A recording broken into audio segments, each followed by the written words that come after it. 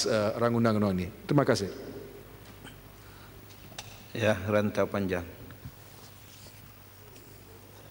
Terima kasih Datuk Seri Yang Tua uh, kerana berpeluang pada saya untuk sama-sama membahaskan uh, Akta Kanun Keseksaan Pindaan 2017. Uh, kalau kita lihat fenomena yang ada dalam negara kita ini cukup membimbangkan terutama isu yang berkaitan dengan gejala kesalahan yang melibatkan jenayah seksual. Dan uh, pengumbalan undang-undang ini cukup tepat uh, mendepani dengan isu yang sedang melanda dalam negara dan ia adalah pelengkap kepada pin, uh, undang-undang yang baru kita uh, gubal iaitu undang-undang kesalahan sek, kesalahan seksual kanak-kanak uh, yang uh, yang sepatutnya uh, kita teliti sekia, uh, lebih awal daripada ini. Se, se, se, sebelum undang-undang ini kita gobal dan kita pindah, kita, kita lihat ber, beribu-ribu kes kesalahan jenayah seksual sedang melanda dalam negara kita. Ah, berapa banyak anak-anak gadis terutama remaja-remaja wanita menjadi mangsa kepada jenayah seksual. Jadi tepat pada masanya pindaan ini dibuat dan kita mengalu-alukan pindaan untuk mengenakan hukuman yang berat kepada penyinayah-penyinayah seksual ini. Uh, kalau kita melihat punca berlaku kenapa berlaku demikian di antara sebab ialah di antaranya ialah kerana Eh, keruntuhan institusi keluarga dalam negara kita yang tidak mengamalkan kehidupan beragama dalam rumah tangga. Dan inilah yang menyebabkan di antara punca banyaknya berlaku eh, berlaku masalah seperti sumbang mahram, eh, jenayah seksual, keganasan rumah tangga dan sebagainya. Dan kalau kita kembali kepada peringatan Nabi sallallahu alaihi wasallam dalam satu hadis yang bermaksud orang yang paling sempurna imannya di kalangan kaum mukminin ialah orang yang paling bagus akhlaknya dan sebaik-baik uh, akhlak uh, kamu adalah orang yang terbaik terhadap istrinya dan akulah yang terbaik terhadap isteri keluargaku. Jadi ini kita lihat bagaimana peringatan Nabi sallallahu alaihi wasallam memberi peringatan kepada kita bahawa ketua keluarga memainkan peranan dalam menentukan kestabilan kehidupan berumah tangga. Kalau kita lihat statistik yang ada dalam negara kita cukup membimbangkan. Kes-kes yang melibatkan jenayah rogol uh, berlaku dalam negara kita kalau kita tengok dalam uh, tahun 2016 saja lebih daripada 4000 uh, 4807 kes eh, yang melibatkan keganasan rumah tangga dan uh, yang kebanyakannya menjadi mangsa adalah kebanyakan yang berumur antara 25 hingga 35 tahun. Begitu juga kes rogol. Uh, kalau tengok statistik dalam tahun 2005 uh, didapati lebih daripada 2870 uh, 28,741 kes rogol antara tahun 2005 hingga 2014 berlaku dalam negara kita. Dan ini belum lagi dikira dengan kes sumbang mahram, kes lewat dan sebagainya yang berlaku dalam negara kita. Yang paling malang sekali, 71.2% melibatkan uh, keluarga Melayu Islam. Ini yang paling kita malang sekali. Dan ramai yang menjadi mangsa, 55% adalah anak gadis yang berumur bawah pada 15 tahun.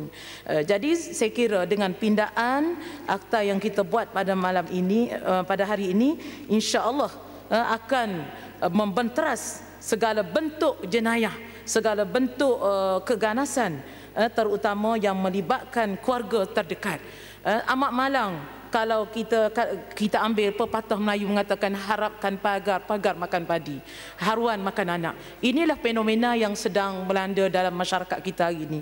Sebab itulah saya menyarankan supaya dalam membendung isu ini keluarga hendaklah melaksanakan suasana hidup beragama terutama bagi orang Islam uh, suami menjadi ketua keluarga amalan hidup Islam mesti diamalkan. Uh, suasana dalam rumah mesti yang sesuai. Contohnya bilik yang berasingan antara anak lelaki dan perempuan mengelakkan pergaulan bebas antara lelaki dan perempuan. Begitu juga uh, filem-filem lucah yang menjadi di antara menjadi punca faktor penyebab kepada mudahnya merangsang kepada gejala ini hendaklah dibenteras habis-habisan. Jadi kita lihat sekarang ini di pasar-pasar gelap banyak lagi filem-filem yang seumpama ini masih uh, apa yang disebar melalui peniaga-peniaga yang mengauk keuntungan tanpa melihat kesan. Uh, jadi saya harapkan apa jua sama ada melalui filem-filem ataupun tayangan-tayangan ataupun laman web laman web pornografi yang boleh membawa kepada rangsangan yang membawa kepada unsur negatifnya membawa kepada uh, berlakunya kelakuan-kelakuan yang tidak uh, yang tidak bermoral ini hendaklah dibendung. Jadi saya ingin penjelasan kepada pihak menteri statistik setakat ini berapakah jumlah kes yang telah diambil tindakan yang melibatkan sumber mahram, rogo dan liwat dalam negara kita dan uh, setakat ini uh, kalau kita lihat dari sudut uh, pengbabitan golongan um, uh, sama ada golongan bandar ataupun luar bandar adakah uh, perbezaan dari segi penglibatan? Uh, sebab kita ingin membuat kajian apa punca?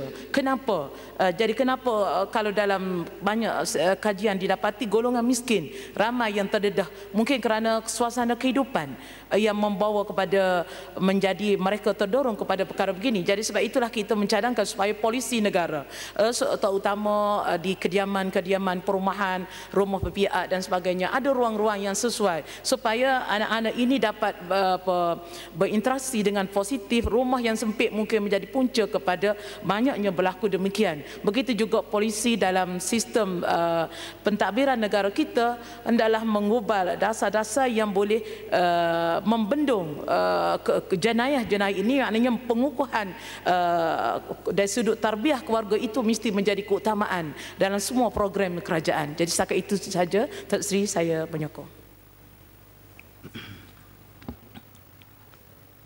Ya, bagan serai tak minat ya.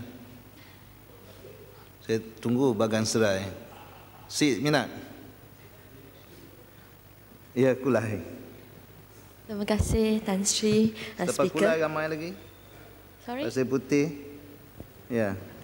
Sila kulai. Boleh. Terima kasih Tan Sri Speaker untuk uh, yang mengizinkan saya untuk mengambil bahagian dalam perbahasan ruang undang-undang untuk membina kanun kesesakan ini.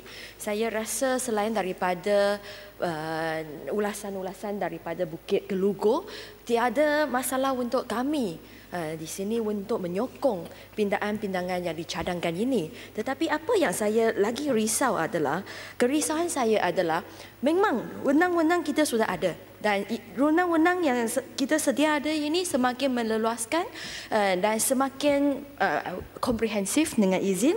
Tetapi saya nak tanya di sini apa itu keberkesanan? Apa itu keberkesanan selepas kita membentangkan pindaan selepas pindaan, pindaan demi pindaan kepada kanun kesesakan untuklah uh, memperjuangkan ini kesalahan-kesalahan seksual beri sedikit uh, angka. Di antara tahun 2005 sampai 2014, kes rogo yang diterima oleh pihak polis adalah sebanyak 28,471